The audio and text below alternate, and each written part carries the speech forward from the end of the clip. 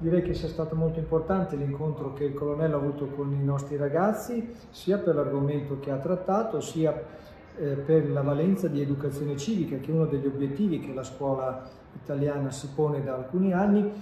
anche per creare un rapporto diverso fra le istituzioni ed eventualmente favorire l'orientamento dei ragazzi nei confronti dell'arma dei carabinieri. Noi come Arma dei Carabinieri della provincia di Bologna siamo molto grati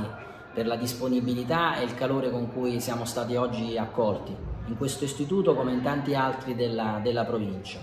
Con i ragazzi affrontiamo temi legati alla cultura della legalità, di cui non si parla mai abbastanza ed è sempre molto eh, confortante verificare come i giovani siano recettivi su questi temi eh, interessati a questi argomenti e quindi a premessa veramente della costruzione di una futura società migliore.